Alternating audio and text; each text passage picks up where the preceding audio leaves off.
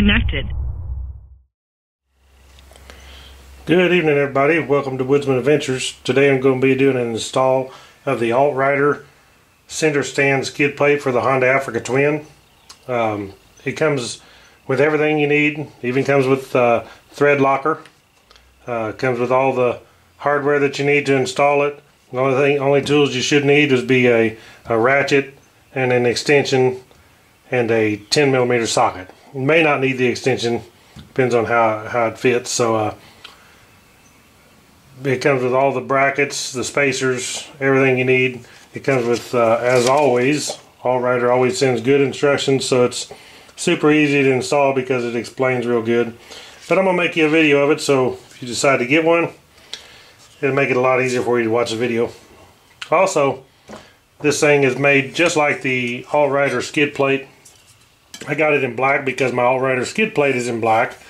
And uh, stainless steel PEM studs, uh, extremely good anodized aluminum. Uh, it's heavy just like the skid plate is too. It's made for the factory Honda center stand so uh, it'll make it when you slide over logs that instead of snagging on the crossbar and stuff on the center stand, the Honda center stand, it will just slide across and keep you from getting hung up because you know what's going to happen when you get hung up on a big log is what usually happens is you get hung up and you fall over. And there you're tearing up your bike. So it's nicer if you go over a log you drag the log your bike will slide right across to the rear tire hit the rear tire and you go right on across. So also be good with big jagged rocks sticking up not to hang you up or doing damage to your bike so we'll get started on the install and uh, see how it goes Alright, the first thing you're going to want to do is have your bike set on the center stand and uh, in place. And then this, this skid plate is actually going to go like this right here and mount on the skid plate. And as you can see, when this thing's mounted on there, how it's going to keep this from snagging on stuff. Because what you've got is this bar, which is the most troublesome spot and this big hole here that stuff can protrude up in here to your um, shock mounting and your pivot link on your shock. And uh, anything can snag right here logs roots or rocks. So this is going to cover that and make it where your bike will glide right over it which is a, a real good bonus feature that they made for this to go along with the Alt-Rider skid plate for the Africa Twin. So we'll get the bolts and stuff and get this thing bolted on. Alright guys, next thing we want to do is, uh, sorry for the angle, it's kind of hard to, it's not hard to install this plate, but it's kind of going to be hard to uh, get an angle in here with the camera so you can see it very good. So the first thing we want to do is put on these tube spacers and the tube clamps and just place them onto the lower tube of the center stand.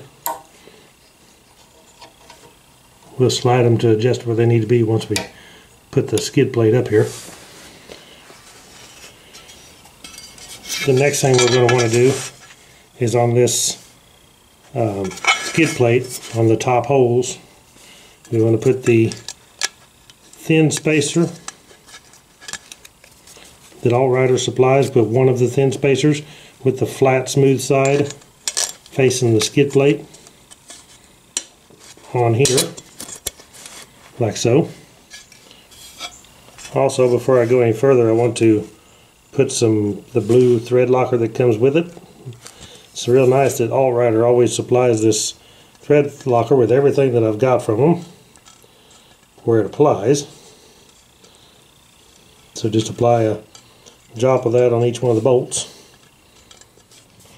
Now we're going to bring the skid plate around to this side, hold it up here in position, and slide it onto the tube spacers and brackets.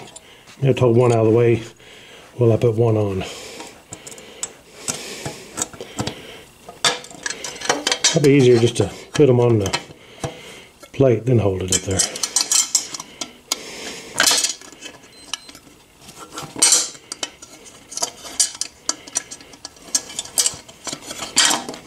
Like so.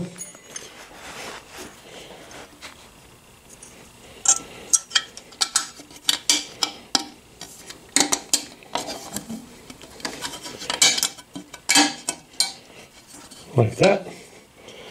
Then we'll put a washer, one of the stainless steel flat washers, and a lock nut on each one of the PEM studs.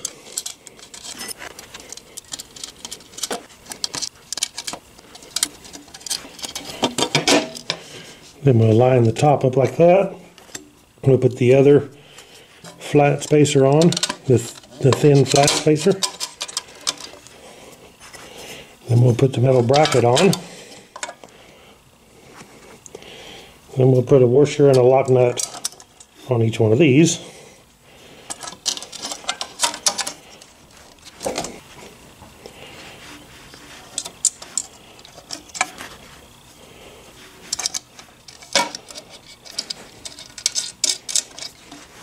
Like so.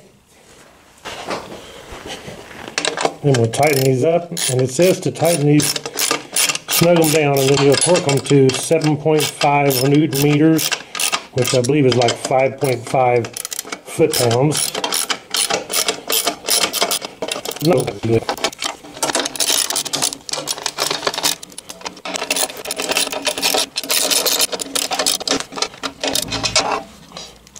All right, that's all there is to it.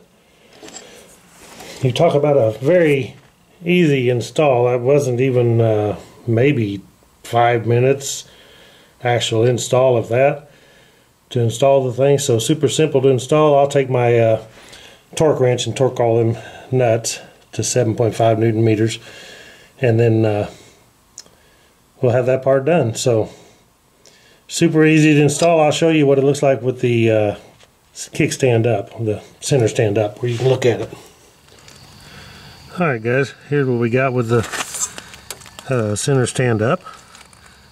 In the up position you can see now we won't be snagging all this stuff straight back to the tire and uh, that ought to make it smooth when you go over a log or rocks and stuff instead of hanging up on the center stand so super cool and uh, Thank you all for watching Woodzman Adventures. Please click the thumbs up.